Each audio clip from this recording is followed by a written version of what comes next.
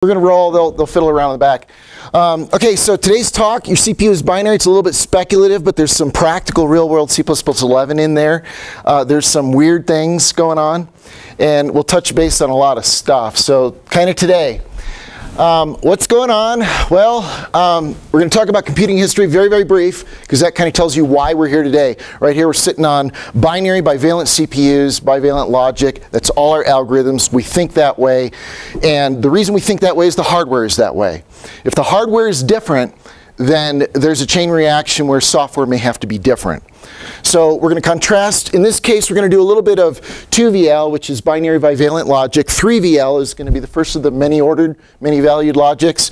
And ternary is a good kind of first example because it's very practical, but you can go quaternary and up, up, up, more states. So law of thought, that's Plato Aristotle. George Boole did some stuff. We all pretend we read George Boole. We all use George Boole. None of us really read George Boole. We're going to talk about binary APIs and ternary. The APIs are different. This is actually the takeaway today. You write code, you write APIs, they're crappy APIs. If you wrote better APIs, they would communicate with the caller in a constructive way. If you write better APIs that communicate with the caller in a constructive way, they're going to start looking a little bit different. We have workarounds for what we do today. We'll talk about that. And then MVL future, essentially the hardware is moving. Hardware is moving very fast, and the hardware is moving to more states. So, uh, why are we here? Okay, we are C, C++. So we sit on top of the CPU ISA, the instruction set architecture. The CPUs have an interface. The interface is for the programmer. That's called the instruction set architecture. The ISA is targeted to C. Pretty much everything is targeted to C. The ISA is for a binary CPU. Therefore, C is a binary programming language. We make bivalent choices. So our language is binary. We think in binary. We are fish in water. Everything we do is binary. We don't even talk about it. We don't even think about it. That's everything we do. But we had to encode somehow this messy analog real world into our algorithm, into our data structures, into our navigation of data structures, into our error handling, into weird things that happen.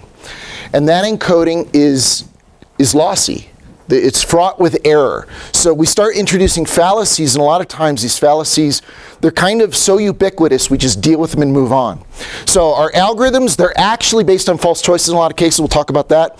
Bad reasoning, bad APIs, and because we're thinking in binary, sometimes these alternatives are kind of non-obvious. This is normal. This is how we were raised. This is how we we're grown as programmers.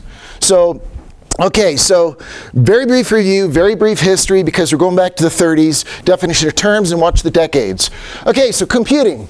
You know, we had sophisticated vacuum, vacuum tubes back in the 1800s, 1850s. Uh, Edison effect, electrons flow through vacuum, that's pretty cool. Uh, we started playing with vacuum tubes, radios, TVs started showing up. Then we're going to do this computer thing. So this computer thing, a lot happened in the 30s. You know, Turing did his work in the 30s. So we're starting to generate big bits of junk. And it's chaos. Nobody knows what to do. It's like all over the board. And there is a transition to, to commoditization. We're integrating, we're going to integrated circuits. We can start packing more stuff. We're not running wires by hand. A lot of the limitations here got lifted down here. And then the microprocessors, you know, that's from the 70s and on. The rise of Apple, the rise of Microsoft, you know, Intel's empire is doing their thing.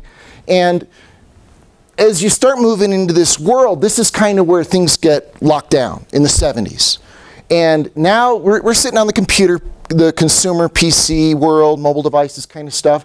This is kind of launched off of the 70s. This is chaos. You know, there's nothing agreed over here. There's agreement over here. By the 70s and 80s, we kind of know what we're doing, and we're going to do this binary thing. We're cool with that. Binary's awesome. So the modern era, you know, we're going multi-core. Can't go faster. We can only generate more heat. So we're throwing cores on it. That's the best we can do. We're not going faster. So lots of cores. That's, that's our plan. And then we're shrinking down to commoditization devices. But now we've got this kind of weird thing going on where people are screwing around with exotic hardware. They're doing chemical computing, molecular computing, DNA genetic computing, computing. They're actually computing results from DNA. And then you start getting into the optical stuff, you start getting into the quantum stuff. Now the quantum computers, they're still binary. You know, we're, we're, we all have agreement here. Binary is how the world works. So the quantum computers largely are binary based. but they're based on quantum effect and entanglement and stuff. So, you know, there's no magic reason they need to be binary based. They could be ternary, they could be quaternary, they could be whatever they want. It's just how many states you got, what's efficient. You know, how do we want to think about this problem, how do we want to break it down? So, you know, we're launched off the 70s. 70s are cool, everybody got agreement. But before the 70s, it's chaos. We had bus widths 1, 3, 5, 7, 8, 9, 12, 13, 17. You know, the buses are changing because the octet wasn't invented. That showed up in 56. Back when they did the IBM 7030 stretch computer, they had a 74-bit bus, and the octet was it was by eight, that's where we get byte, and it was one to eight bits, but it was variable, because man, you know, the buses were slow and transferring data was hard, so everybody was variable bits, variable bit widths, but it could go up to eight for, for bytes. So that's cool. So, you know, we start to get the beginning of what happened in the 70s, which is agreement. But prior to that, everybody's wiring everything by hand and screwing around with exotic hardware. And so the radix, base 10, we actually have decade vacuum tubes, you know, 10 levels. There are 10 states on the wire, and those were wired up by hand. So a lot of the earlier computers were actually 10 states. And a lot of the, you guys remember the rotary phones? You know, a lot of us grew up with the rotary phones. You know, one, two, three. Yeah, the, oh, it's, it's slow. The, it was so painful because those were pulsed. You know, so you dial a seven or an eight or a nine. It took freaking forever to get that thing to dial all the way around because it was pulsing it. So these fell out of favor pretty quick because they were pulsing it. That was pretty slow. Modern tech, we wouldn't pulse it again, but that's why they fell out pretty quick. So we had kind of this octal computer thing going on where they were based on binary, but they were kind of playing with um, different word sizes. And what they found is, is an accident of math. Sometimes it's helpful to think base 8 when you're playing binary, and sometimes, you know, base 16 when you're playing binary, based on how many bits are you really trying to work with. So, you know, we're familiar with this because, you know, this is pretty standard stuff. But back then, they, they actually classified the computers. Oh, that's an octal computer, that's a hexadecimal computer. They treated those differently. So, uh, you know, sometimes there was some mix and match. It was really a lot of chaos. We had 12-bit, 24-bit, and 36-bit systems, and those were kind of viewed as octal, even though they could be hexadecimal. But, you know, programming was still kind of weird and still kind of hard, and nobody agreed on anything. So now we have this uh, binary circuit. This is today. So let's, let's look at it, and this is pretty basic stuff. So today, you know, we're not talking to the hardware guys, the chip designer, the chip architects. We're talking to the software guys. This is actually more relevant to us than to them. Intel's going to do what Intel's going to do.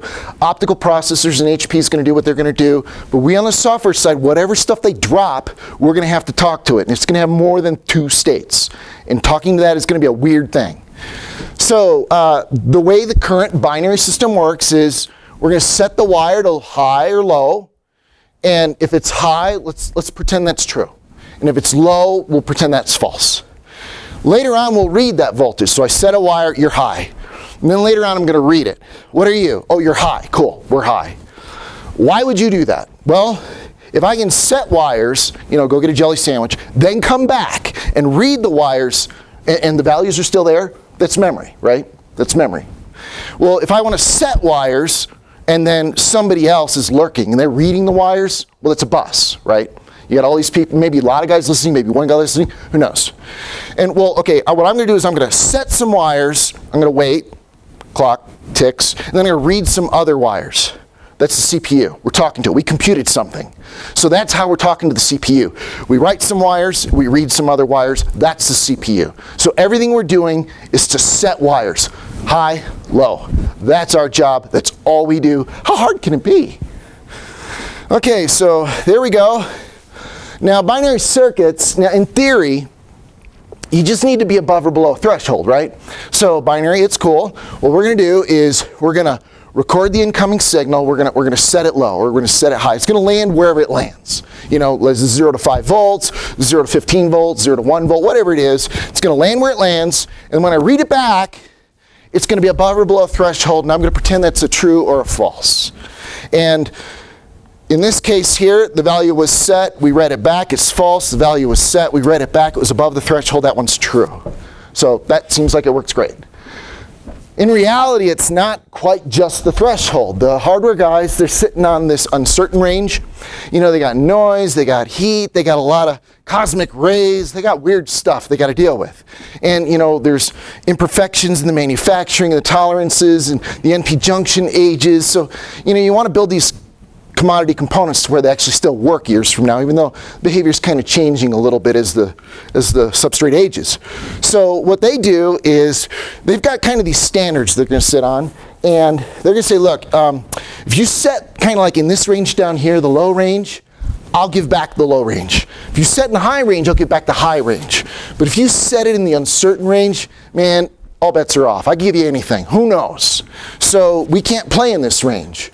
So we've got now a binary state, but it's kind of split up. And then if you're in a high voltage or a high noise environment, what's going to happen is they're going to add some buffer. We're going to have a little bit of extra margin on here for high noise environments. So a lot of these protocols, what they'll do is they'll say, well, if you're low noise, this is your range. If you're high noise, this is your range. Same part, just the manufacturer gives you a feel for how to use the part.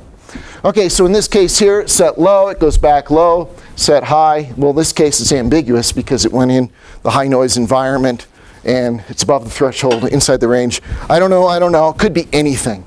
And you would think it's like way up here, you know, it should just kind of like round up. But that's not really how it works. Okay, so we got these logic families, and they do this. And they're standards. Standards are cool. We used to be like 15 volts. There's some of this still actually in use now. But you know, this is back in the 60s. Then the ECL, PECL, there's a low voltage PECL, there's RTL, TTL, CMOS. There's a lot of stuff, but the trend really is to lower voltages, right? We're going generally faster clocks, lower voltages, less heat, ideally less noise, longer battery life. So the number of finite states, even though we got all these little bands and stuff going on, it's a binary wire. You got a low or high. And if you got a lot of noise going on, you're going to get a value, but maybe you can't trust it. And that's our world. That's the hardware guys' this world. So we get bits. Sometimes you can't trust them.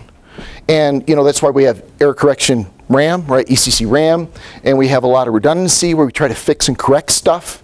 And the hardware guys will do that too.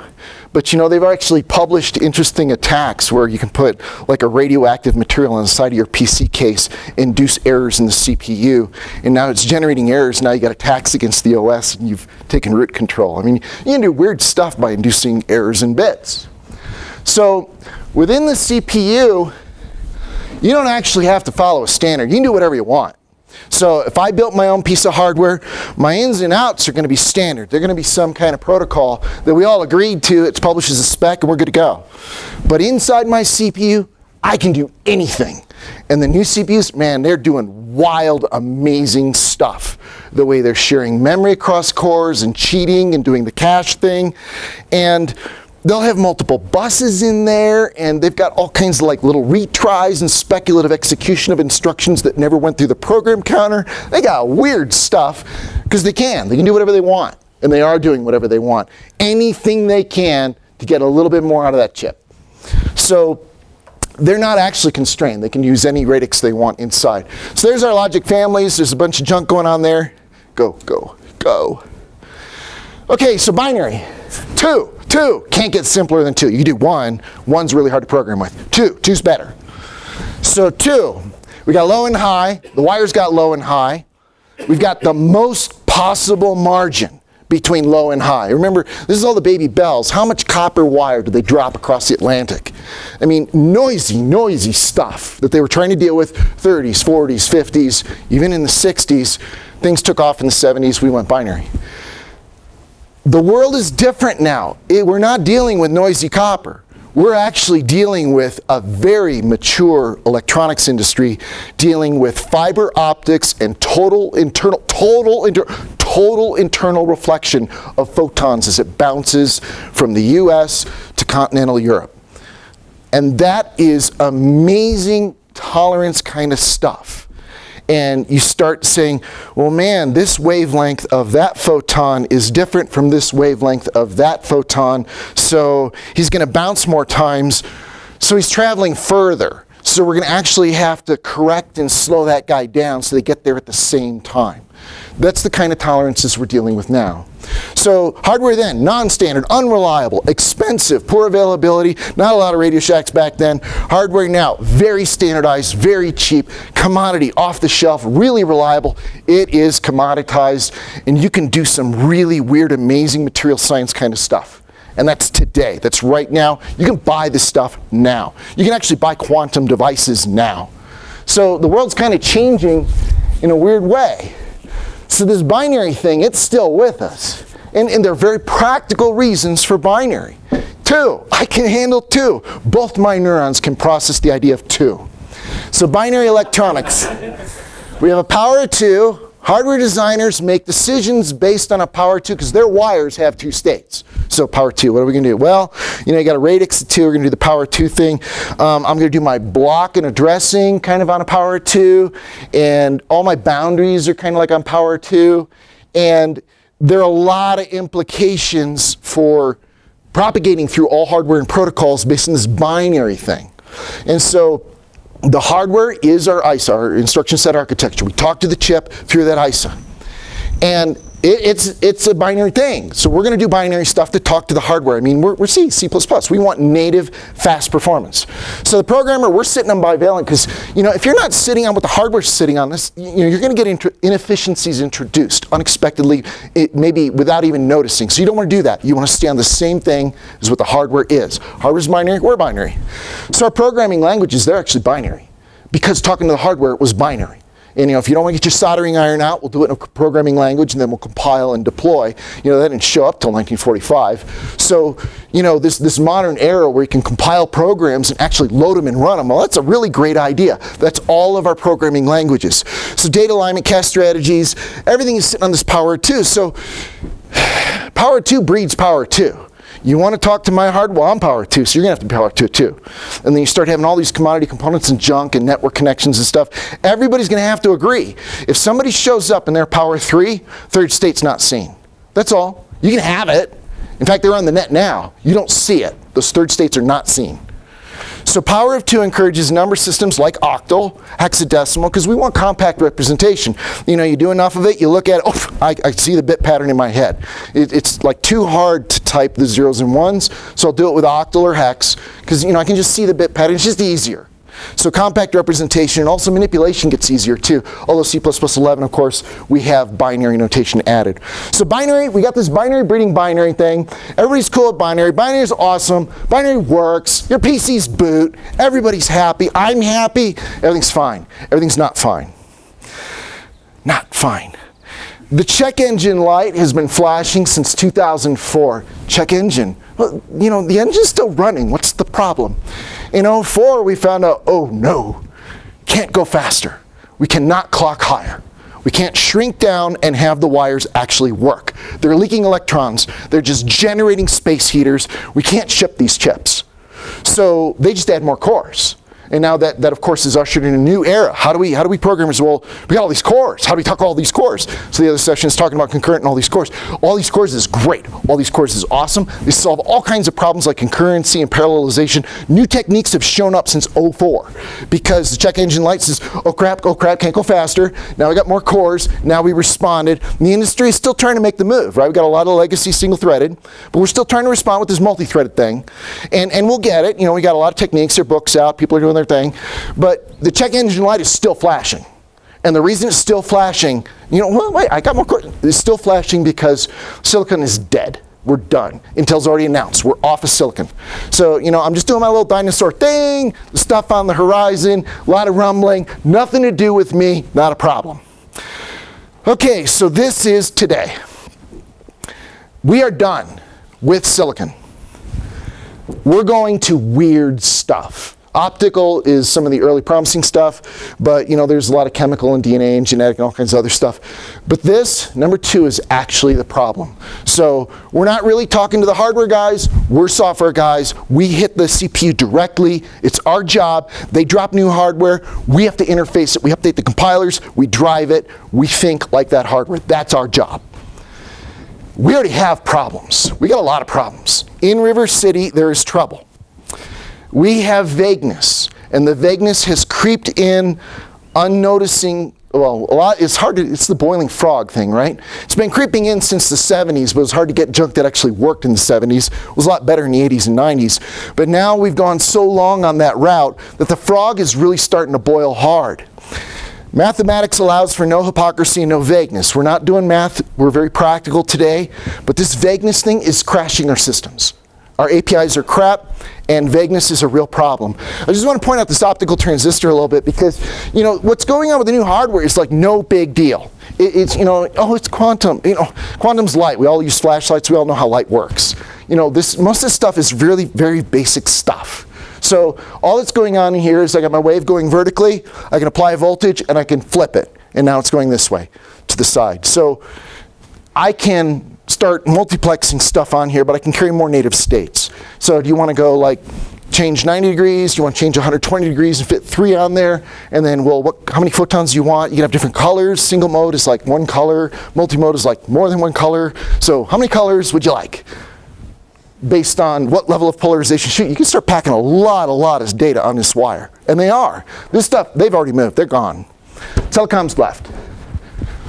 Okay, this is the freak me out slide. And I kid you not, this is like nightmares. I know humans, generally, we're not that, but I know humans generally have a hard time with this exponential thing. They like to think linear, they believe linear, they see linear. Of course, debt is a linear problem. Well, it's log. This is a trend based on an exponential, and you know, this bottom number here, that's one, is in one nanometer. So it's getting really hard to build chips, which is why Intel's saying, man, we're gonna do something else. This is the freak me out scale even worse. Here's disk, we're getting better. Oh yeah, but it's an exponential. Look, disk is exponentially better. It is exponentially better on memory, exponentially better on processing throughput on the CPUs. That is a divergence in exponentials. An exponential divergence, this is deadly dangerous bad. We can't handle an exponential divergence of memory, RAM, and processing throughput. No way. We're screwed. We're really, really, really, really screwed. So we're going to have to come up with another thing that's a lot of the reason why we're moving to new hardware our clock rates have peaked. We can only generate more heat. We're not going faster. Our circuits have shrank. You can't shrink them anymore. The electrons don't actually make it to the other end. And we're really bus limited. And this, this has kind of historically been a problem. We got bigger and bigger data sets now. So this 3V, uh, this multi-value thing, essentially what you're talking about is one wire more data. That, that's all you're talking about. We have two states coming off the wire. Like, could you give me like more? Well, that, that's this. So same clocks, more data. So new hardware, and you know, this is kind of like the inversion of thought. If the hardware natively supports binary, it is inefficient for us to think in something other than binary because that translation probably will introduce latencies, ambiguities, and error. We don't want to do that. But if the hardware starts to support more than two states, then we don't want to be sitting in binary because that's going to introduce the ambiguities, the errors, but the big one is binary now becomes inefficient. If the hardware natively supports more than two states, it is inefficient to say bool.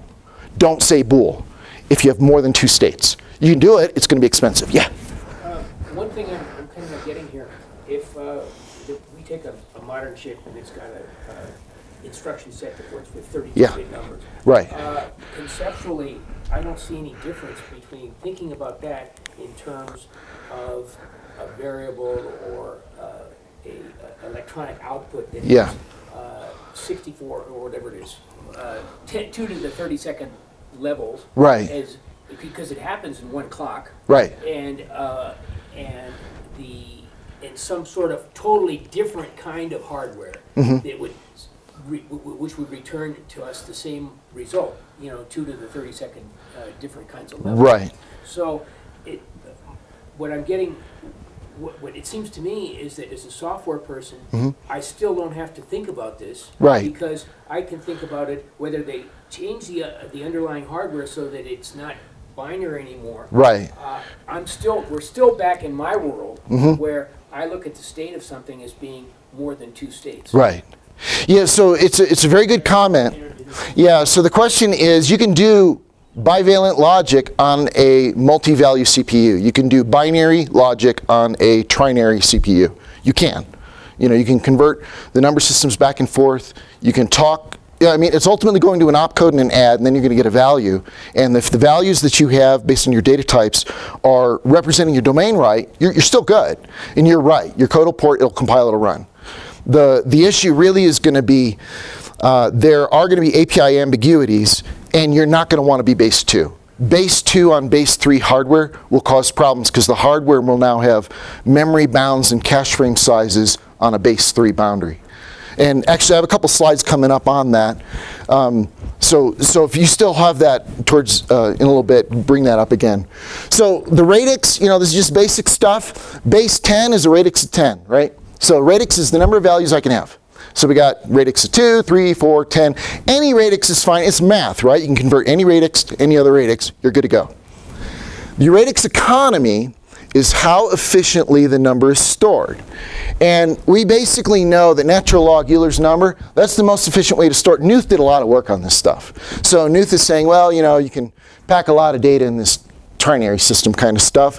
And ternary, well, it's pretty close this 2.7 natural log thing. So each trit is actually worth more than the equal amount of bits. There's more memory density here. We'll talk about that in a second. So the ternary search, the ternary breakdown is close to Euler's number. So when you call in for tech support from wherever and you have to go through the phone tree, they give you three options at every level.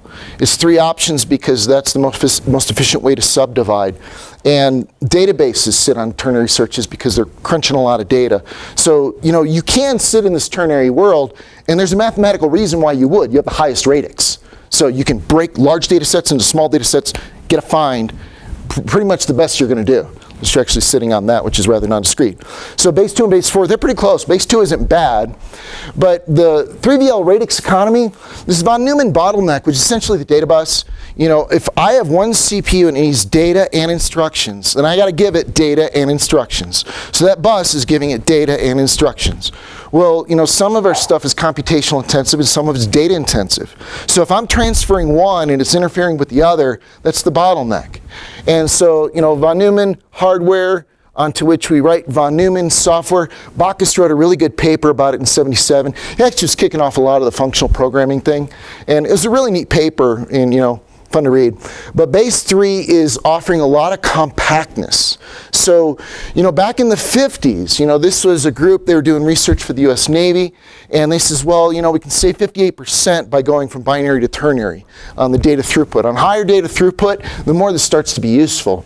of course, you know, then of course, a couple decades later, we had the 70s, and then we agreed to go binary. So ternary CPUs, we're going to have better data buses, ternary opcodes. The actual opcodes of the CPU are going to be different because the math inside the CPU, the circuitry is actually physically going to be different inside the CPU. And this more efficient CPU, it's going to give us some weird things. We got more than two states. Remember, we got a high, low, and there's noise in the middle, but it's undetected noise, which is why we got to do that after the fact with ECC RAM. But I could do high, low, and an indeterminate on the wire. And then I don't need ECC RAM. I have it on the wire. So there's going to be a lot of efficiencies that can show up in hardware, and that can actually translate straight to software. So software is actually our real concern, and even though it is a really good point that any number system, any radix can go to any other. It can. We can do that conversion. Even though that's true, I'm asserting that binary is really the worst one we could have picked. And the reason is this slide. Binary is a mathematical projection of some kind of multivariate n-dimensional logic space. All of our problems are n-dimensional problems. And we're going to project those into a binary if, else, or something. And that's going to be a lossy conversion. It just is. So you can project down to lower dimensions. We can always do that. There's always going to be a little bit of loss, but you can try and manage it. You can add layers and stuff. And you can project up to a higher dimension too. A lot of times that'll introduce mathematical anomalies, but you can project any dimension to any other dimension, but when you project down to 2, 2, 2, 2 is as low as we could go, unless you're going to have a bit that's only like ones. That's it. 2 is as low as we could go. We threw out a lot of handling of unknown real world stuff by dropping to 2. So this is a similar problem in this multi-threaded world we're in now. So you saw this single-threaded thing. Single-threaded is awesome, but in, in single thread simple, you don't have any locks. You know, who's taking the core? You know, you, we can manage that. We did manage that. We managed that for decades. Now we got cores, and we got threads. And well, threads, well, you know, what are they good for? Well, you do this concurrency thing. You can do this parallel thing. And then it turns out, you know, you can start to break down your problem and solve problems differently. So I can take basically a multi-threaded program and serialize it into one thread. I can do that. It's tedious, it's error prone, I may not enjoy it, but I can do that. But that's what we used to always do.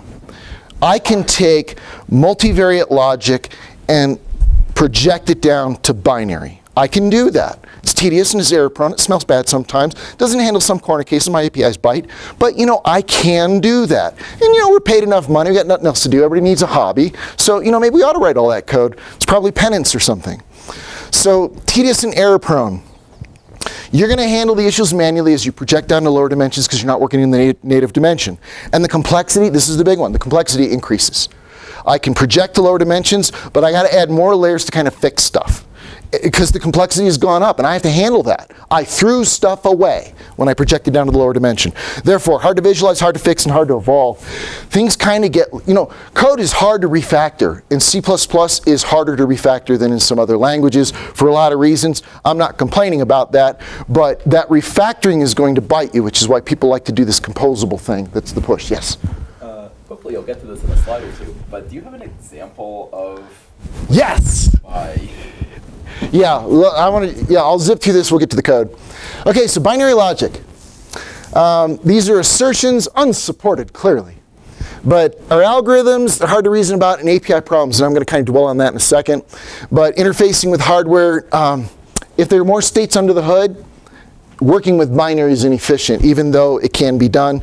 And the ambiguous thing is we're ambiguous thing is what we're after. So this is the first principle stuff. So the code actually comes after Plato and Aristotle. So uh, there shortly. This is nothing new. We've been doing binary like for a long time, mostly 30s and 40s and you know on. But ternary, there was a lot of flirtation with it. And you know, this quaternary, that's two bits on the line. So the, the telegraph stuff, that's been there forever. You know, you can put two bits on the line. They can handle more than two states on a lot of that copper line back in the 17 and 1800s. So that's what's been running the world. You know, that's still continuing today. They're doing like lots and lots of multiplexing now.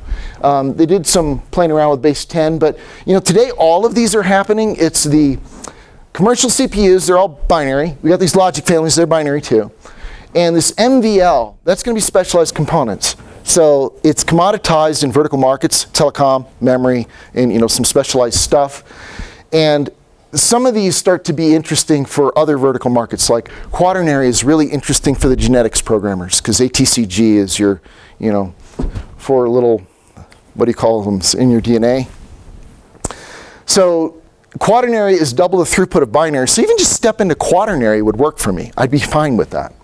So other MVLs, other exotic computing. So let's, let's kind of talk about this ternary thing just real quick. And you know, so yeah, he, Fowler built a ternary adding machine out of wood in the 1840s. He loved it. He thought it was awesome. He didn't understand why the world kept doing this binary thing because they were screwing around with binary. This is when George Boole was doing his thing, right? So. Uh, yeah, you can build these things. Boolean algebra, George is coming along. He's got his book published in 54. In the 50s, you know, there's a lot of work on this stuff. Remember, that was chaos. There was no agreement.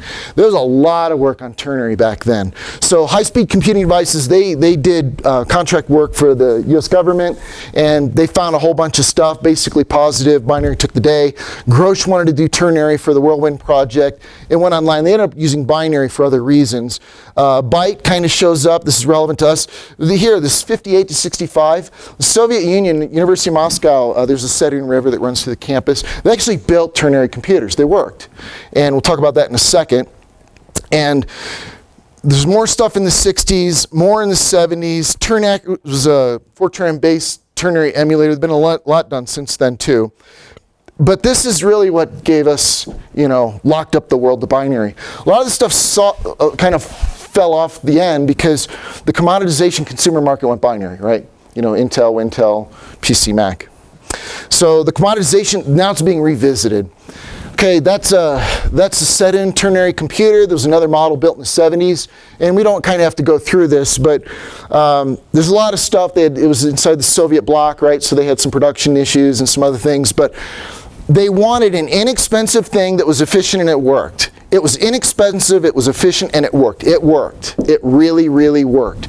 And the electrical consumption was lower, the production cost was lower, it was more reliable, and a comparable binary was about two and a half times the cost back then.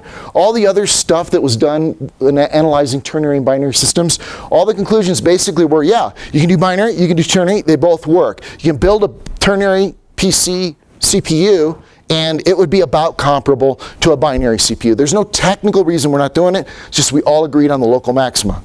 So, you know, this is kind of some more stuff. But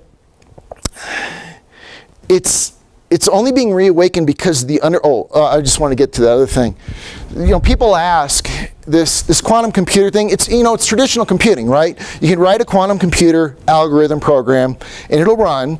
And well, you could have run that with a classical algorithm. There's nothing magical about a quantum algorithm, and all that they're doing is dealing with little little phenomenon, little quantum effects, you know, little small changes they're detecting, they use them for computing and memory and stuff. But essentially, scaling these things are, are hard. You know, building these things, we kind of don't have it down yet. So University of Queensland, Australia, because of the higher radix economy, nine ternary gates does about the same as what a 50 binary gate computer would do. And if gates are really, really expensive, like in the olden days, you had to wire every stupid gate. Gates were expensive. That's why they liked these higher radix systems. Uh, the quantum computing, they're expensive again, so they're starting to play around with this multi-valued logic stuff. Okay, so I'll just kind of zip through this quick, but um, essentially the takeaway is telecom, memory, and vertical markets. CPUs aren't binary, but everything transferring wires from here across the Atlantic, it's not binary. They're, they're multiplexing and they're using more states and they're using photons and other quantum effects. And uh, um,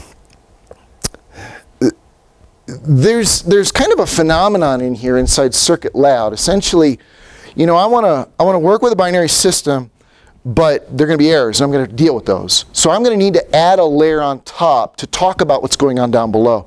And this is kind of a repeated pattern. How many dimensions do you want to work with? Let's say two. Oh, okay, well I need one more dimension to talk about those two dimensions. And so that's how our buses work. So the buses are, people are communicating, but there's one more state kind of watching what's going on to arbitrate who's talking to who and kind of managing and I want the bus and that kind of stuff. So you need a third dimension to do binary. And when ternary happens, you need a fourth dimension to do ternary because you need one more dimension to talk about the dimension below. Otherwise, you do something like ECC RAM where there's the extra dimension in hardware to correct the errors that are in software. So anyway, that's just sort of an interesting observation. There are some research venues, T-logic gates and stuff. This optical computing, jo Josephson junctions, you know, we got a lot going on now with current flow. All our electronics are base to voltage, so that's kind of how we measure stuff. There's a current flow way to go. This is kind of based on that. Holographic, so HP is building the machine. Any guys read the articles in the machine? They announced it last year. So they're essentially, uh, the machine is, they're using three-dimensional holographic memory storage. It's oxygen ions. They rip two electrons off, and that's bit storage, three-dimensional. And that's universal memory. Universal by what? Well, we're going to have a lot of cores, a lot of specialized cores, and they're going to hit that universal memory direct. So essentially, a lot of cores sitting on this universal memory. Okay, and well, bus. How are you going to do that? Oh, fiber. You know, we'll do optics for that. So it this is the new architecture. It's called the machine. They announced it last year. There've been a number of articles written on it. They're trying to have something, I guess, showing working Q3 next year. But you know, that's kind of in the vein of this. This is now the hardware guys have started to move. And the Quantary uh, the quantum ternary stuff, the exotic computing, that's actually kind of interesting by itself. But um, this ternary thing, so I think the real question on how do we think differently starts to come out of this. We have three logic levels on a radix 3 system. Makes sense. So we don't have binary bits, we have ternary trits. And we're going to group them into bits, nibbles, bytes. Words become trits, tribbles, trites, and words. Same thing. This is nothing new. This is decades old. This is all well-established stuff. But this balanced ternary and unbalanced ternary is, is very interesting because balanced ternary has some interesting mathematical properties, largely being the symmetry around zero. And the symmetry around zero allows for an elegance in mathematical expression. And we're programmers, right? We look for elegance in mathematical expression. We may not be mathematicians, but we're looking for elegance. The reason we're looking for elegance is because a lot of times we can just solve problems, they drop out. It's just solved once in a generic way and everything drops out. So this balanced ternary kind of offers a little bit of that. See that in a second. So we have false, true, and this unknown starts to show up. You can put it low, high, doesn't matter where the unknown, three states.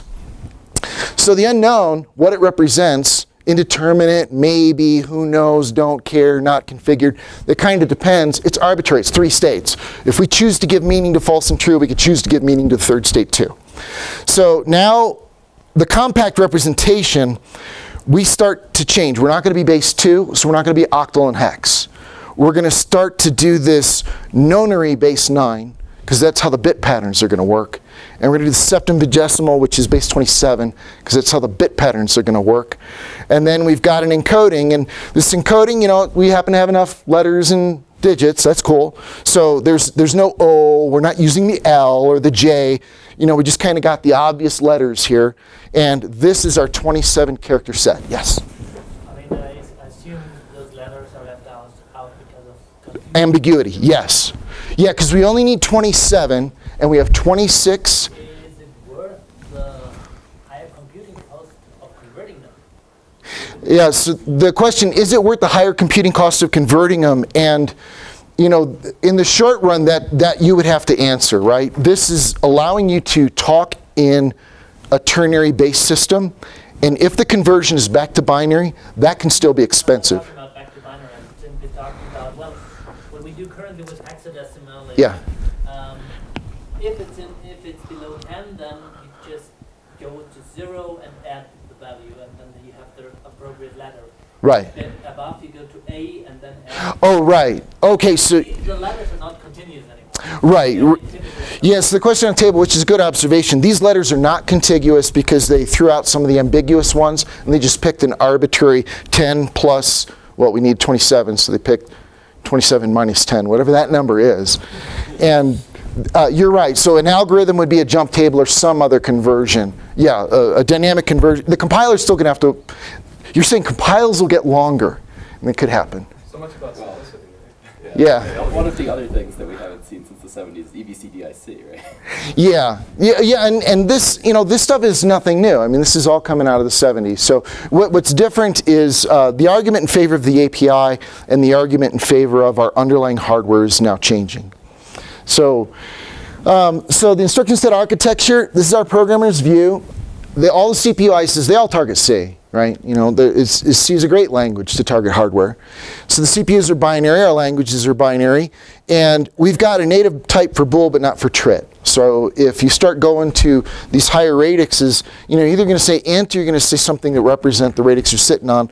Trit would show up if you're assuming base 3. So this, this one kind of gets weird. If else is a binary thing. Everybody does if else. Nobody even doesn't think about, oh, except for the Lisp guys. They do whatever they do. But uh, this is so ingrained in our code. The idea of taking that away from people would freak people out. Yes? So I mean, maybe it's because I'm a programmer and I grew up with this stuff. Yeah. Young people, natively, like people think about if else in their heads. Uh, even if Well, Not, not, not when you talk to five-year-olds. yeah, see, that, that's where I go. That's what I- The five-year-olds on the playground, yeah, almost nobody thinks in binary except us. We're the only ones on planet Earth. Um, so let me jump through the CPU and then we'll get to why we don't think in binary. Uh, okay, so this is, a, this, is a, this is what a CPU would look like. We all know what our 32 and 64-bit CPUs would look like. This is a CPU that would be ternary based. Example, that doesn't exist, you can't buy it. You can emulate it. This code's been written. You know, you can go to GitHub and pull it, uh, somebody's master's thesis or something. But um, essentially, you're doing base three word sizes. Everything's sitting on power three. Memory, block, caches, all that stuff is on powers of three.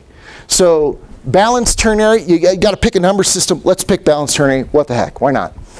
Two values become three, so bits are now trits. We got 4-bit nibbles at 16 values. We're going to do 3 trit tribbles, power 3. And that's 27. So we're going to 16 to 27. 256 for a 6 trit trite becomes 729. And then a 9 trit trite becomes, uh, you know, 19,600 or so. Balanced ternary, there is no sign trit. It is gone.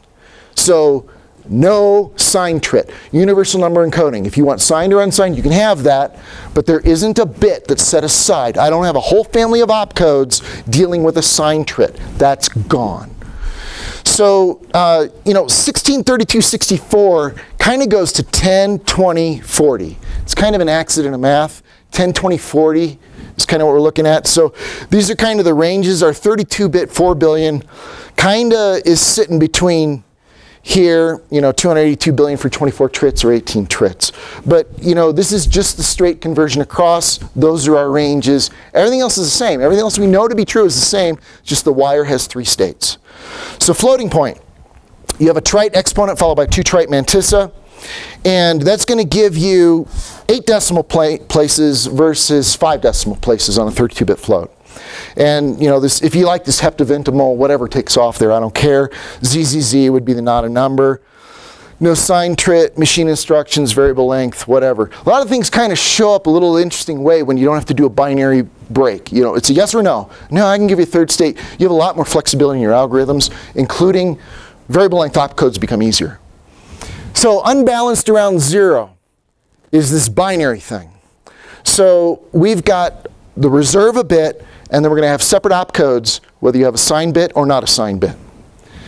So this, this alternative stuff, we got a lot of ways to do number management in binary because all of them have problems. And even C++11, it doesn't mandate two's complement. It mandates it on conversion, but it doesn't mandate it any other time. So we're not even on two's complement today. So this native representation ambiguity kind of thing, you know, some specialized hardware, even though it says it's two's complement, there's some different opinions on what that means, you know, based on some DSPs or some CPUs. So this, this binary thing, going to ternary, this sign trit is kind of a big deal. And this is the symmetry we're talking about. If it's balanced around zero, one set of opcodes in the CPU, and some problems start to get solved a little bit more easily. So uh, I'm just going to kind of run through this quickly because you know we want to get to code, but uh, CPU can be more efficient, opcodes, blah, blah, blah, stuff is simpler. Everybody's got a three's complement because we're all base three. You can do some interesting things with that. That's, that's the trinary search, right? So, okay, so some things are going to be weird. Your code. I cannot discretely represent 0.5. You cannot do that in a ternary system, but you can discretely represent 0.3 repeating. So, you know, that's the, it's the way of the world. So some things, and this is kind of what the hardware guys would find interesting, this is the efficiencies that you're going to gain inside the CPU itself. We may not care, but inside the CPU, universal number system, one set of registers, not two sets of opcodes. Negation is trivial, trivial to toggle the zeros and the ones. Addition table is only two symmetric carries. Subtraction simple, you do a negation, which is trivial, and then you add. Hi. Um, you keep talking about the universal number system ternary, but Yeah. isn't that just like someone saying binary is great because signs signed int can represent any number? You don't need unsigned int, you just use a signed int. Yeah, universal in this case, so the question is, universal, every number system is universal if you just believe it to be true. And uh, this is a reference to the native representation in the register in the hardware. So there is one representation for signed or unsigned in the hardware. The only difference will be the offset. Which is interesting, because now, so C has undefined behavior for when you add uh, integers, signed integers, and you overflow, that's undefined behavior technically. This would be defined behavior, because it's defined how Yes. behavior would be. So it actually simplifies, if you will, that whole area, because you only have one numbering system. Yes. Yes, so it's, it's one encoding for signed or unsigned is The the point. Yeah, go ahead. uh, really interesting because if you're dealing and trying to represent real items where you have negative and positive, one of the really annoying things about signed integers is it's not symmetric. Right. You have one more negative than you have positive. And that can lead you into a whole world of, well, what do I use? I can't represent this wholly symmetrical real world thing with because there's an extra negative here, and so you never use it. And so you end up not utilizing your entire number system to represent real things. Yeah, I, I'd agree on that. Yes. Um, So, I mean, the universal number system, I mean, signed, unsigned integers in binary are basically there because someone said, well, we have 32 bits. hmm I really do want to represent 3 billion with that. Right. So let me just say, well, skip the negative numbers, I don't need those, or Right. just go positive up to 4 billion. Yeah, in ternary, you'll still get that. You'll go zero to positive, or you'll go negative to positive, symmetrical. You still, the keyword signed and the keyword unsigned remain, but the representation in the register will now be the same for both of those. Well, Well, there are for two's complement and unsigned integers. Well, wouldn't you just throw away the signed then? I mean, excuse me, the unsigned. Because you, you're getting the sign for free anyway, so you don't really have any motivation to do what they did in, in the binary. uh, Well, I always have motivation. If I have an, a, a specified number of grids in that case, Mhm.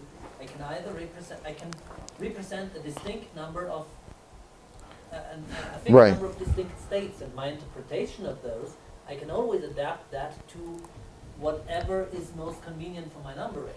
Yeah, But the- But the number, but the, the, the arithmetic operation will be different, so you won't have this problem that we have that, uh, with, with two's complement arithmetic, where you have to re, uh, invert it and then add one, because on the, on the trinary system, that. That's gone. One zero. right. Yeah, so it, the, the, the binary arithmetic won't be built into this machine because it doesn't need it. We'll have this trinary arithmetic instead, which has different properties. Yeah, so the question is that, or the, the comment is, the mathematical operations occurring in the CPU to do the math on signed unsigned binary will be different from the math on ternary. That's true. So the representation of the machine, some things will become less ambiguous, some things will be cheaper, probably some things will be more expensive. That, that'll be an area of, of discovery, but there is a lot of elegance and simplicity, largely being like uh, truncation is the same result on ternary. You can't, well, I mean, there, there are attributes here. I want to kind of move on and we can kind of take this offline because I do actually have code. So uh, something's different, something's harder, something's just, just weird. So um, Knuth, Knuth likes ternary, you know, we've talked about it. It's a very elegant number system. I like Knuth and he happens to support this point, so he gets a good quote. So this, this elegance and efficiency impacts the hardware circuitry layout. The transistor budget allocation for operations will change when you go multi-valued or ternary off of binary. So uh, some of those efficiencies can be useful. Okay, so you know we're C++, we can code stuff up, we can build an emulator, it's been done. Uh, you can go to GitHub and find stuff. You know, there's kind of niche stuff, it's kind of academic stuff, but it's starting to get interesting for some of the new hardware. But this adapting our thinking is kind of the big thing. So um, a lot of this was kind of a surprise to me. Um, we're, we're going to do this logic thing. We have rules and notation. You know, Turing did his stuff. This is in the 30s. You know, we can substitute variables and a computer can compute stuff. That's cool. You know, that's kind of how we have jobs today. So this was sort of the beginning of the computer stuff out, coming out of the 40s. I'm just kind of blowing a little fast through here, but it got formalized through notation in the 50s and 60s. But binary, two states, right? True, false. Wires high, wires low. Boolean algebra, that's the George stuff. The mathematical analysis of logic, we've all read it, right? Sure. And then supported by all modern languages, fundamental to you know, digital electronics have been binary, set theory, stats, blah, blah. So valence, uh, just for completeness, univalent, bivalent, multivalent. That's all. Bivalent is 2VL. That's all. We don't program univalent because that's you get a 1 but no zeros. Or you get a 0 but no 1s. So bivalent is pretty much what we use. Multivalent showing up. It's kind of old in some sectors. Three or more. So ternary is a multivalent programming. And what gets interesting is uh, how you think about this category, including ternary, is different from how you think about this category, which is binary. So multivalent, multiple valued logic, multi-valued, many-valued, these are all web search terms. They're all used interchangeably. Okay, so this is George Boole's stuff. So Plato and Aristotle says we got three laws. Identity, non-contradiction, excluded middle. That's our stuff. We write code, the code works, we know it works because those guys did stuff. They're dead now. Laws by which valid thought proceeds. If you do something good, odds are very high that you will die. valid thought proceeds, justifies all valid deduction. Boole sat on this. So when we talk about law of thought, that's those guys. And we talk about laws of thought, that's George. And there's his little thing. And we all read that. An investigation of the laws of thought, blah, blah, blah. That's what he did. That's Boolean logic. Okay. Identity. It is what it is. That be what it is. Equivalence. Every class includes itself. It's kind of like the point. So the value is the value. If I got a bool and it's true, I should be able to assert that it's true. I should say, hey, I am equal to me. B1 is equal to B1. It better be. If it doesn't, we're so screwed. Non-discrete values, eh, not, not, not as good. You know, we got, you know, float epsilon and double epsilon, gotta watch that.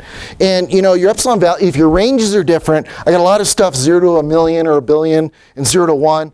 Those can't be compared directly. And you can't assume if A is B and B is equal to C, then A is equal to C. You can't do that for floats. So, you know, just kind of watch it.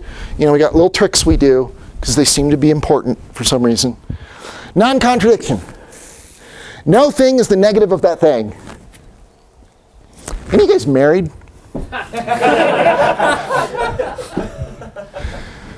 A statement cannot be both true and false at the same time. B1 cannot be the opposite of B1. If B1 and not B1, you should never, ever, ever, ever, ever be in there. That's what George says. We, tr we trust George. He's a guy, though, and I don't know if he was married. This is not true when applying negation does not yield the opposite. That happens all the freaking time. Is using file. If I'm not using the file, I can delete it. Well, I'm not using it, but I know that guy is, or something else. You know, we, we start toggling stuff and think the opposite means something, and it's a lie. That is wrong thinking. That's I misunderstood what that value meant. I thought the opposite was cool. No, the opposite was not cool. And then same thing here.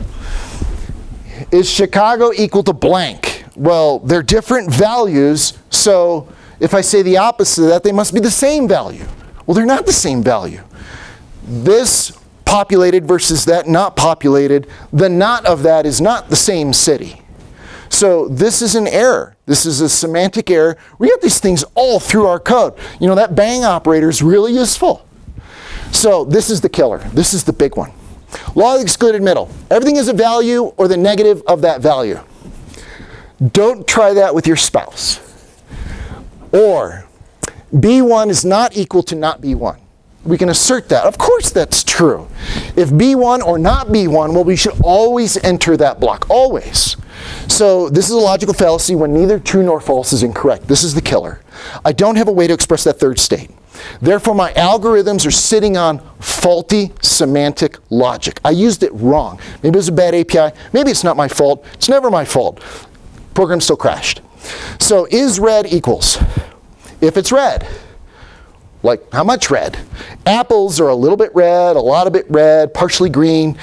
You know, there's a lot of ambiguity when we can pretend is red is true. So we start to put qualifiers in there. Is partially red. Oh yeah, well, you know, it's hard to be wrong if you got enough qualifiers. So is partially red. Okay, this is somewhat unambigu uh, unambiguous because now I know the else cases. There's no red at all. So this is this is good. This is clean. I know what that is. But that might not be the algorithm I need. I might need a different algorithm. So this toggling thing, this is really going to cause a lot of semantic problems and it propagates the API. So our summary is identity, it's cool, floats will bite you. Just kind of watch it. Non-contradiction, if negating is not the opposite, watch it. And excluded middle, if neither true nor false, man, you're, you're hurting. You know, you're going to have to come up with something else. And failures, it's going to be a semantic problem. It's, this is our thinking was wrong. We asked the wrong question. Of course, we got an ambiguous or wrong answer. So it was a misunderstanding. There was faulty reasoning. All our code looks like that because all our code is binary. So there's examples on that stuff. We love Boole though because it sure looks simple. Our reasoning is simple. Coding is hard enough. We have complicated problems enough. So clearly sitting on Boole should make our life, it actually makes our lives harder. So Boole gets you into trouble, expensive new move APIs. I want to move on to some uh, better code. So nature's not binary. We don't think this is that five-year-olds on the playground. Humans actually don't do this binary thing. It's very rare. So false dilemma, false choices, dividing stuff up. Some tribes in continental Africa don't even have a binary system. They go to other number systems. Humans don't really do this. But if we go to school enough and you're given a programming language and you do it enough, you know, you think in binary, you can actually see binary code. You can see opcodes if you want in your head. But that's because we've trained ourselves to go there. This is not very human. This is, this is our translation in our domain. So we force, we project into lower dimensions, and then we have problems. So um, just zeros don't work. Binary works. We got that now. There it is. This, three or more, set theory, math. Our algorithms are going to be different. So it's closer to the problem domain. It's easier to express stuff, but our algorithms are going to be different. So we got two options. Two, binary. Zeros and ones, let's binary. More, that's set theory. That'll be multivalent. So binary is a special case of set theory. This has been proven too. You can do binary if you want. You know, that's, that's a very specialized version of set theory. And ternary logic is our first of the multivalued. Okay, so, you know, this is the assertion. One step too far. If I forced you into a corner and you're gonna give me a bool, you're gonna give me a bool. You're in the corner, you're stuck, you're gonna give me a bool. That crashes, I don't know how many Mars rovers. So the binary guys will say, look, we went as simple as possible. And the ternary guys will say, look, you know, you removed my inability, you removed my ability to talk about the algorithm in a sensible way. So we have bad Spock. This is the sad thing. Our universe is the dark universe. In this parallel universe where there's good Spock, you're going to need to know your Spock. You know, other universes, bits are gone. We don't do bools. We sit on these tri-state things or maybe some higher radix. All logic is ternary or MVL. And this is going to kind of be a natural propagation that you can do binary, but it's going to be kind of expensive. It's going to be hardware inefficient. And it's going to be very limited in your ability to describe APIs and work out problems in the real world. So that's why generally, if you're given the alternative, you won't use it. So uh, just recap, there's our bit. It's a wire, low, high. Values Boolean. It's not trivial because we know we got these bands, got these uncertain bands in higher noise environments. We got these pins on the CPU, same thing, those are our wires. Ternary hardware, on ternary hardware, the wire's carrying three states. If we reflect that, we carry three states. So it's going to be expensive to convert trit to bit. It's going to be ambiguous. When I have that third state, which one? Which one do I pick? True or false? I'm going to have to pick one. So that ambiguity is going to cause problems. So simplest thing on an MVL system is to sit at radix. Whatever radix is, stay there. So bool, it's our primitive type. All our higher order types are comprised of bool, right? Got a bunch of bits, they're toggling up and down. We could have done capital because George is, you know, a proper noun. Could have spelled it properly, or we could have called it bit. And uh, none of those happened, so we'll just move on. Programmer's view. Well, we like to pretend bool is a trivial type. In hardware, it's not trivial. You got noise bands, you got other weird things, but you know, we can pretend it's a trivial type. And when you get that bool back, a lot of times you can't trust that bool. Did the guy get forced to give me a bool? It's not really a bool. Can I trust this bool? We have that a lot. So uh, we're going to assume and play with bivalent branching. Okay, this is kind of, you know, take it home. There's exactly one truth value, true or false. If you don't want to be pushed into the corner, then you didn't design your system right for this binary system. So you need to get your system broken down to where there's no ambiguity and you can get pushed into a corner on any given thing. So bivalent logic, everything can be answered true or false. If that's not true, you're screwed. So I, I got to move on in the interest of time, but design specifies what is disallowed. So I can assume things. If my design is a framework that I can trust and I know to be true, then I don't have to think about it. It solved that problem. So if I have a multi-threaded message, message passing design, you know, I can pass any message I want to any other thread I want. I don't have to think about locking. That was solved. That's solved in the design. Well, what if I didn't get a lock? Locking is not part of my vocabulary. I don't think about it. So if I design it, then that tells me what I don't have to think about anymore. So the implementation specifies how something works. That's going to be your detailed design, actually. So our code is the detailed design, literally. Never, never vague.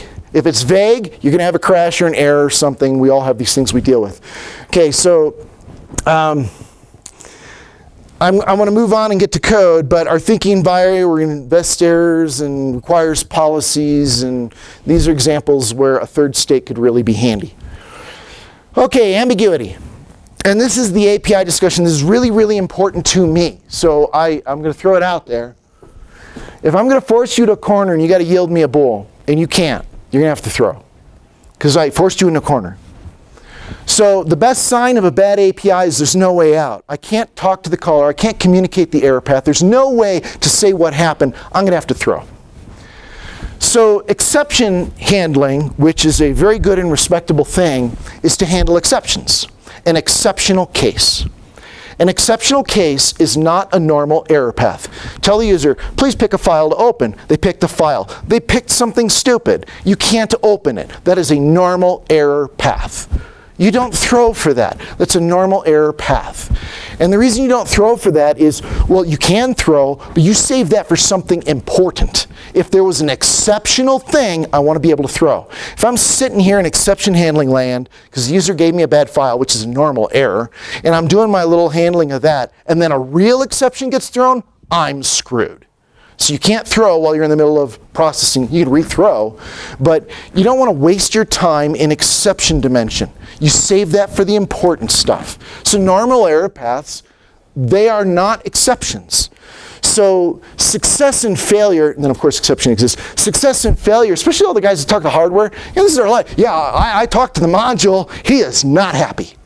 Well, I successfully talked to the module, and we do have an error. This is a problem. Or I can't reach the module, no response. Maybe you have a bigger problem, but it's a different kind of problem. Oops, back, back. So I can successfully communicate with or without an error, and then I actually had an error. Those are different. And then, of course, we have exceptions. So APIs is all about communicating to the caller salient information that they can process and deal with. So don't throw if it's a normal error scenario. That's our job, to handle normal error scenarios. So in, in a parallel world, we got this enum thing. Enums are awesome. So if you didn't have bool, what would you use? You'd use enum. Okay, so uh, Enum's better documentation, the API can safely evolve, it's a good compile time catch when I want to change stuff, it's type safe, even the old one was, but the new one is strongly typed if you want to go there, you can be forward declared, you know, these, these are cool things. So here's code. Instrument.find parameter, uh, I don't know, maybe a name, who knows. Um, true. Oh, but he's telling me what this true is, it means case sensitive. I'm assuming that means I want to do a case sensitive lookup of that parameter probably. That's a guess, but guess. And the one below it is the exact same call, but it's using an enum. And the enum is self-documenting, and the enum I can change. So there's nothing worse than a function call that takes five bools oh my gosh, what if I got one out of order? What if you changed one? What if you, you know, if you drop one out later or add one, it becomes ambiguous. Enums solve these problems. So which code would you rather read? You can have that one or that one. You come into a new place, new code, which one do you want? Same thing here. My board.set bit, um, looks like a number, could, could be an ID maybe, could be an index, I don't know what it is, but you know, I'm making a guess. Uh, true, true. Oh, it tells me here, true mean, must mean high versus the enum is self-documenting. Which one would you want to read? So enums are awesome. So once you're go enums, you're not doing bools. Once you're not doing bools, you're starting to go to this MVL kind of thing. Many valued. So it's going to address the ambiguities. You're going to start doing more stuff. I want to jump on. There's circuitry, blah, blah rise of MVL, there's new hardware, optics, photonics. Uh, th this is actually not a small thing. It really is not a small thing. Believe it or not, your glass of water on your table, we can save and read back data from that glass of water. We can do that now. So interfacing with novel computing, that's neat. So code's going to be different. This bool starts to be weird. You know, it's maybe expensive for sitting on binary hardware, but uh, it's going to be ambiguous because we've got more states coming in. We're going to be forced to go bool, true or false. So we're going to start doing this three-way branch thing. So this here, this is math, right? This is, this is a balanced ternary tree. That's all. You know, this is a 43rd step balanced ternary tree. That's all. This is not a big deal. This is all well-known stuff. So there's your binary break. Here's your ternary break. It's going to be fewer steps because you have a higher radix economy, right? It's going to be easier to get to your number faster. So database guys have been doing this forever. So then we're going to start to play around with these data structures, our cache lines and our memory buffer stuff is going to start doing this power of three thing. So now we got boost. Boost got the tribool. Tribool is awesome. I know some of you guys are using tribool. True, false, indeterminate. Three-state uh, Boolean logic is what they call it. And so uh, in the in the Boost docs, so this works. You know, you just kind of kind of work with it, right? And in a Boolean context, indeterminate converts to false silently, but it does that. And you know, what are you going to do? We're on a binary CPU. We think in binary. You know, it's got to be useful too. So they had to pull out the separate thing, indeterminate. It's a test against the value. It turns out you're going to need that. So tricky. It can become ambiguous sometimes when you start playing with these algorithms. This is improper. So if I test false against x, well, x is either indeterminate or false. It'll be either of those. And then ditto, if true, if else, it's, you know, the issue is going to be you're, you're, silently collapsing two states to one. That's it. Now, but it holds three states, and as long as you address it discretely as three states, you're good. But our if else's don't tend to do that. So the conversion's silent, and it becomes ambiguous. Okay, so this is, this is kind of a pet peeve. What city do you live in? Chicago? I don't know. So you must live in different cities. The database guys have had this problem forever. Chicago is not blank or unknown. Therefore, I conclude, you know, if else, it's the same or different city. So the database guys introduce a null to handle this case, right? And ditto here. What city do you live in? I don't know. I don't know. They might live in the same city they might not.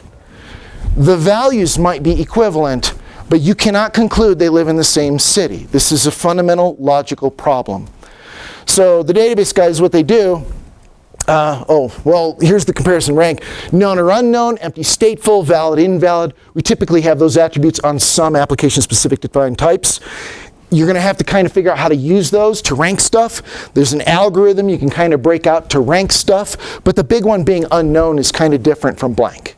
If that's true, that's important. So uh, in the uh, ranking rules, less than equal to greater than becomes four states. For our relational, doesn't matter where the unknown shows up.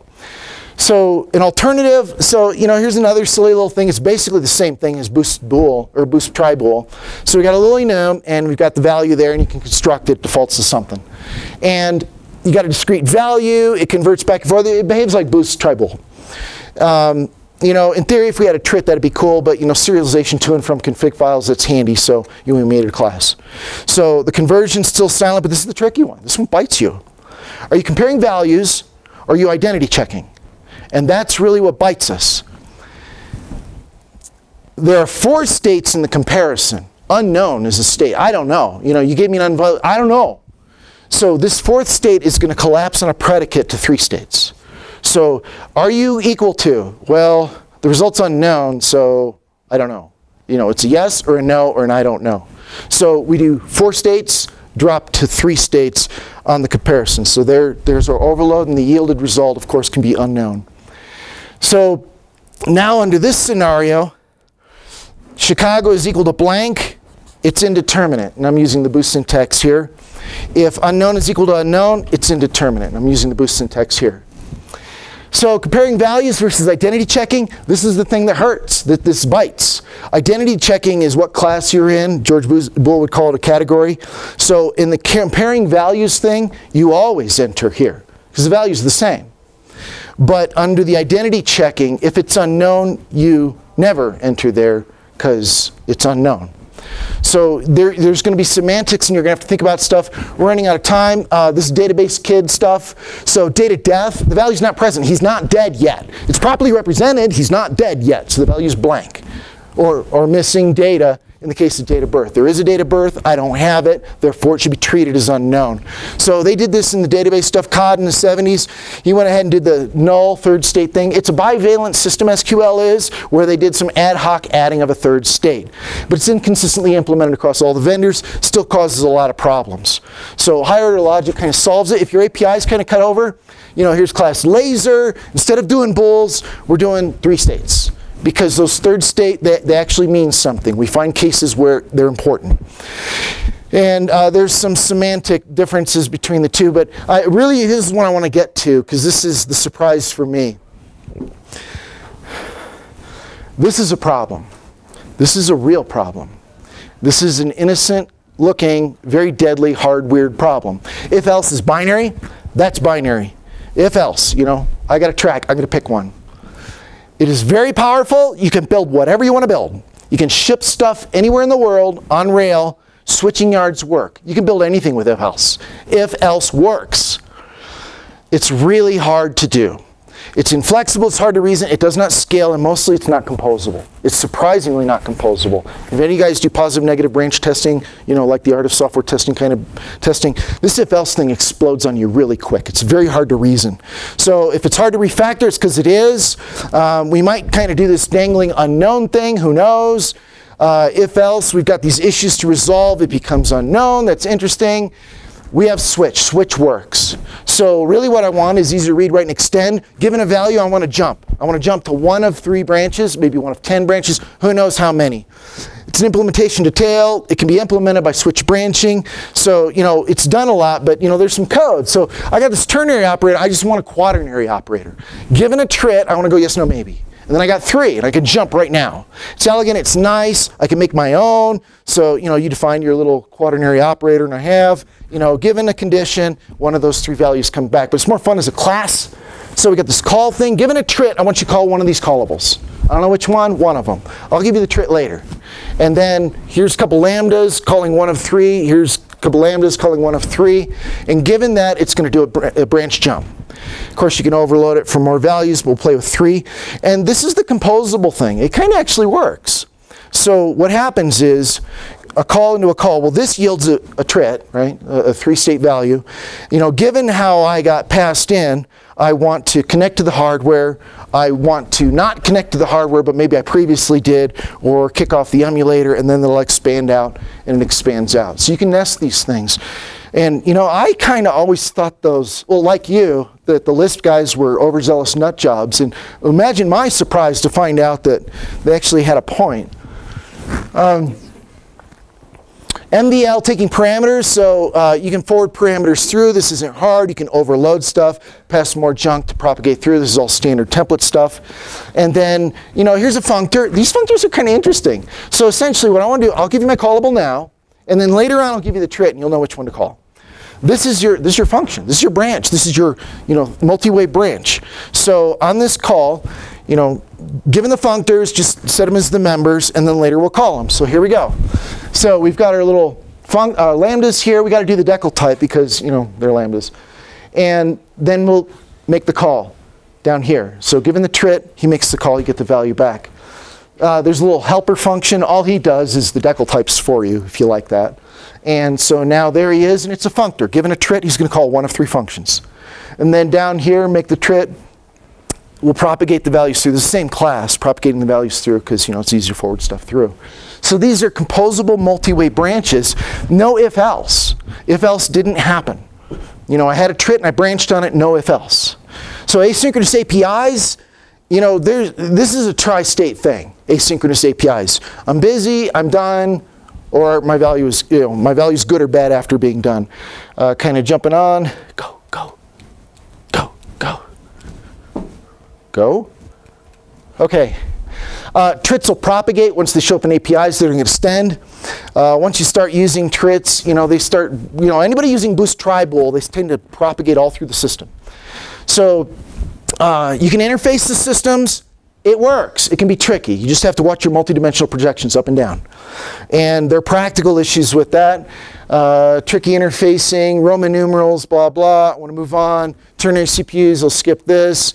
New hardware, new software. We could fix stuff like endian and number representation in Unicode and have one standard for carriage return. And uh, ternary code differences, you know, this, so summary.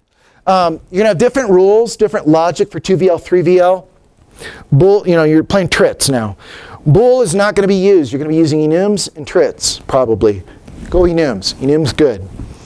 Algorithms and data structures are going to be, you know, ternary trees, not binary trees. And you're going to start asking, your logic's actually going to be different. You're going to say, okay, I'm here, what might happen? And then you're going to list them all out and you're going to code that. It's not going to be a binary break. It's not going to be like before. So this if else really does actually become less useful. You can chain whole systems together and never use if else. So functional programming, eh, doggone those Lisp guys again. They're never going to live it down. Or let us live it down. So MVL, they're interesting for these application, neural net stuff, blah, distributed computing. Okay, here's what I want. What do I want? I want this. Keep the bool, because I don't want to make anybody mad, no death threats. I want unknown, keyword literal, just like true, false, those are keyword literals. I want a new keyword literal. I want a new data type trit, holds three states. I don't care how it's implemented, but I want it limited at compile time, three states. Type conversions, I got implicit and explicits, some ambiguity going from unknown to anything. What are you going to do? You're going to have to do some unknown to int. What do you want to do? So, you know, you could throw, you could go zero, whatever. Uh, the quaternary operator, I'd really like that. That's really nice uh, for various reasons, talking about offline. And um, I think a lot of stuff can be expanded by the compiler through a new native library. Further investigation on this if-else thing is kind of deadly. So if I really wanted to make people mad, this would be the aggressive ones. And I deprecate bool, and I'm, I'm not joking. I really would seriously think about, I don't want two states, ever. It's an ambiguity when I go from unknown to anything. What am I going to do? Am I going to throw? Is it going zero? So uh, most of the same stuff, but you know, you now have some easier, harder rules. But this if else, you could actually start thinking about deprecating if else. If you go this MVL thing, and that's like out there nut job crazy stuff. But if else is a non composable, hard coded assumption for binary that does not hold when you go to multiple values. It doesn't hold. That ladder is not composable. So, you know, it's kind of weird. So, you know, anyway, hardware guys, they're cutting to new hardware. Silicon's gone, it's dead. Actually, I don't care if they cut or not. I do actually think software guys have to cut over. We, we really need to close the gap on these ambiguities in our algorithms. And the worst one being the APIs. I think they're highly offensive the way the bools propagate through. There's no error path, there's no communication. You're practically forcing all the new college grads to throw on every other line. And, and I don't think that's a scalable way to go. So anyway, we can go to different APIs. And actually, all I have to do is pull boost tribool. And you know, now you're not using bool. So that's good. Enum's good. Enum, enum, enum. So if you remember nothing else, the guy li really liked enums. Yes, I like enums. So any questions? Yes. Uh, I, I would say yes, Doom's really good. Uh, and yeah, like APIs that return bool uh, are in fact really bad. If it's just like I succeeded or I failed, I'm not going to tell you how I failed. Much better to return a failure code of some sort, you know, you know, and then you can switch on that.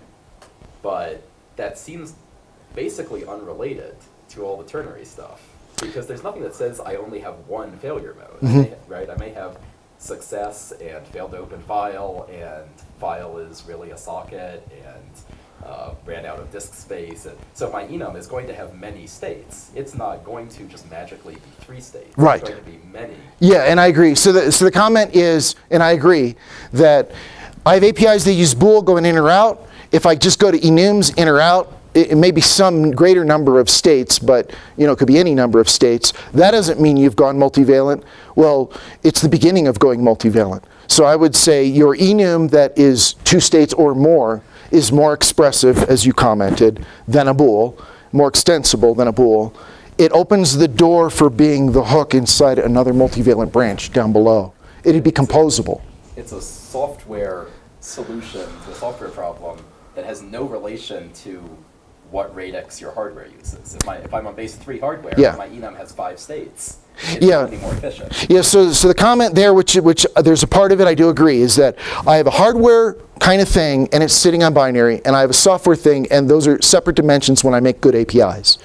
And I normally would agree with that, except bool, bool is used all the time over here, and I would never use it. Never use it. Never. Bool. Never. Yes. There's all kinds of questions though that, that have two answers. There are, and that would be multi. Uh, that would be special branch of multivalent logic. If I have a question with only two answers, and a lot of questions have only two answers, then you would apply the generalized algorithm that happens to only have two branches. So, so I- could I paraphrase that and say what you really want to use is multivalent logic, or multi-value logic, but in, in with a, a, uh, a number of values which depend on the case, and there are some cases that have only two. Yes, yes, that. So everything has more, if it has more than one, if it only has one case, you're done. Two, Yeah, we should have built in N. yeah. And We could have made it N. Yeah. Yeah, yes. I've got, I run into plenty of cases that have three answers, or, and some Mm-hmm. have more answers. It seems to me that I, the vast majority of questions have two answers. Yeah, I, I may even be, uh, I may even be ready to agree with that. And then the issue would become, let's say the vast majority is multivalent 2. Let's pretend that's true because it may really be true. In the case where that's true, if else is not a very composable code construct to handle that problem. Uh, it, it, it, it could be, but it's a very specialized thing that's only applicable when there are two. And the problem is, well, it used to be two, but now there are three. And now all your code has to be rewritten. And that happens a lot. The moment, oh shoot, there, there is one more state, there, one more ambiguous something. Then you've gone three, you have to throw out all your code and write it again because of that one third state. Yeah. So to uh, follow that question, what would happen in a case you emulate a, a light bulb being on or off? Mhm. What does actually happen to the third state? Uh, it, okay, so the question is if you have a light bulb and it really is only two states, on or off, the, either the third state's not used or to be an application specific API decision on what the third state means. In the common case, because we do a lot of hardware, in the common case with hardware, you don't configure all the pins. You bought parts off the shelf, there are 20 pins, I'm only using eight of them. So all the other ones just remain unconfigured. So even on that, I, I need that state. So um, it turns out if you had that state, you'd actually use it for interesting things. It's just since we don't have it, we, we don't think about those things. Yeah. Yeah, if we were to rewrite our code, get rid of all the if then else, uh, if else's, get rid of the binary, the bools, and run it on the existing binary CPUs, what kind of a performance hit are we talking about? Um, you know, I'm not sure to be much different. Like like this call thing that I did. You know, this is just template meta programming where it's a switch and it's jumping to one of two cases. The assembler would be almost the same. So there may be cases where it's different, where the compiler, of course, has optimization algorithms where it's doing what it's doing. But if it's more composable, then the compiler can do more optimizations because there's more local reasoning. So uh, uh, the short answer is I have no idea if it'd be faster or slower. I could see it go either way. Yeah. Uh, to, to speak to that, I, I would say that the the thing that I think is most thought provoking here, and the reason that going to three value logic in your control flow would probably be a performance hit today, is that we don't have three valued control flow in processors, or because I mean you can say that five year olds don't think in if else, But CPUs do. That is what we do, and we say I'm going to the store or I'm not. Right? I mean that's a decision that I make. Either I go to the store or I don't. You are a I professional, experienced programmer. Yes. Right? And so it's like the train track Mm-hmm. situation where we have a switch that's either, um, you know, either you go left or right, and you're saying, oh, well, what about the third state? Why don't we have three-way switches? But the thing is, modern CPUs are not the railroad. Modern CPUs are the freeway, and the freeway Well- is the freeway. Yeah, well, the- go on, and an exit ramp here, and then exit Well, ramp later. I'd only partially agree because we have this the, the instruction pipe. Okay, so the question is CPUs are still not doing three-way, they're doing two-way. But the instruction pipeline and the optimizations and the speculative execution and all the microcodes that stack up against each other, you know, there's some amazing stuff. I'm not ready to say that CPUs are actually binary executing instructions. Well, maybe, but I mean, I think the freeway analogy is is a good one in that it's it's not a question of which way do I go at this intersection. Freeways. Right. don't have intersections. They have Right. a conditional jump that takes you on the exit ramp, Right. and then the other part. Yeah. Nobody has branch instructions that have two places to go. Yeah, so there will be an adapt to hardware issue. Yeah. Um, sorry. So, you mentioned that Boolean has ambiguities in there, but Only converting from unknown. Free States also has ambiguities. Is it Yeah. unknown, is it uninitialized? Is it Right. Maybe, is it don't care, is it Right. name state? And those are all gonna have to be somehow documented in the software, so when you see true, false, unknown, Right. what does that unknown actually mean? Yeah, so the unknown, what it actually means is, okay, so the question is, um, Boolean has unknown, uh, issues maybe, but you know a, turn, a ternary trit would have unknown issues also maybe. And, and that's a true statement. The unknown happens when I'm in a higher dimension, I project lower and then back to higher. So I was here, I projected to bool, and then I got to go back up. So, so it was lossy. And the other one being where I have a trit, a ternary trit, and I'm projecting into the lower dimension. That's ambiguous because an unknown going to bool will be ambiguous. So the issue always with unknown is I'm stepping up or down. Stepping up is, is not lossy, stepping down is lossy. Stepping up from, well, stepping from unknown is always problematic unless your higher dimension can describe it. So, so you're right. Given, given a three state and I project it into four dimensions, I'm good. Given four states projecting into three dimensions, I might not be good. The big one being all of the category theory stuff works at ternary because that third state is kind of an out. It'll be API defined, but it's an out. And binary, there is no out. There, there's nothing you can do to talk about any, one bit cannot talk about the other bit. In ternary, it can. It can talk about itself. So on the, on the, on the speculative hardware ternary stuff, that third state is, you know, here's my value, but, you know, I'm not sure you want to trust me. It's self-describing, it's self-referential. And that's what binary does not have. Thanks. As a small comment, um, I agree with you that C++ lacks in this in the switch statement. Mm -hmm. um, but I think it's for, for different reasons because uh, C++ lacks in support for sum types because mm -hmm. Is a sum type. Mm -hmm. And from a categorical or functional point of view, we don't have good good tools to deal with this sum type. So yeah. we need a functional type checking uh, yes. switch statement. And, and this would also solve this call problem. Yeah, okay, so the comment, and I completely agree, is we have the sum type and we need a composable way to do a multi state representation of that. And I do think there's some new techniques coming online because I'm not enthralled with the syntax of switch. You still have to have a return from the function and stuff. So they're, they're, they're, they're corner case implementation details where I would like something better than switch. Switch happens to work.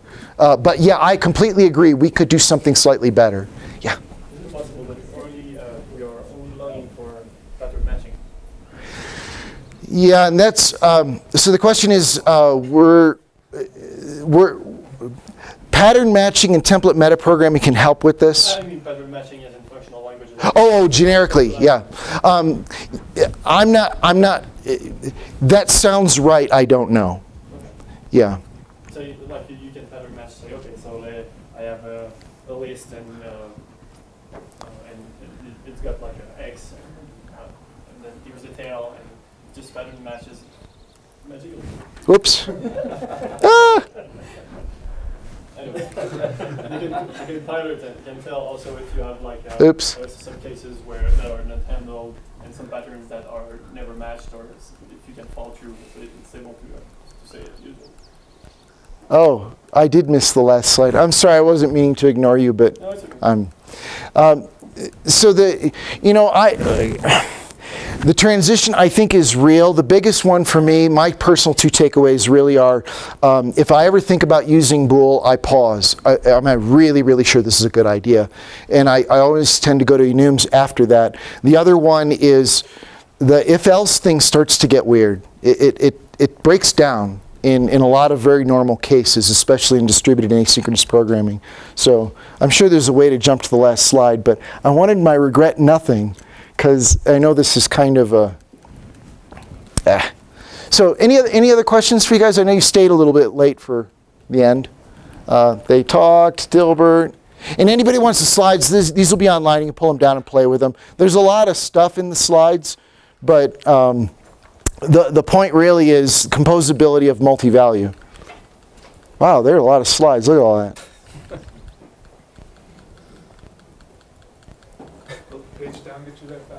Oh, probably. So, um, oh, there we go.